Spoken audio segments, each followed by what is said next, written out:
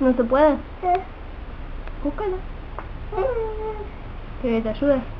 Uh.